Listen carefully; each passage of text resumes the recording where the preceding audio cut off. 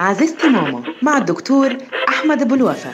عزيزتي ماما وهنا كمان عزيزي بابا عايزين نقول لكم إنه لازم يكون في وقت في اليوم على الأقل نص ساعة نقضيه مع ابنك أو بنتك. الوقت ده وقت محمي بعيد عن كل الحاجات اللي أنتوا بتعملوها في البيت. ما يكونش فيه طبيخ ما يكونش فيه ماتشات كورة ما يكونش فيه موبايلات. ويفضل جدا في الوقت ده إن إحنا نلعب الألعاب اللي الأطفال بيحبوها. الوقت ده هنستخدمه بعد شوية للثواب والعقاب. لما نحب نشكرهم على حاجة هم عملوها هنزود في الوقت أو هنزود في الأنشطة اللي هم بيحبوها.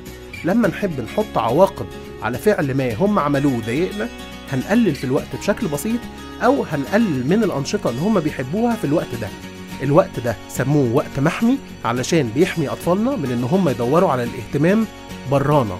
احموا ولادكم قضوا معاهم أوقات.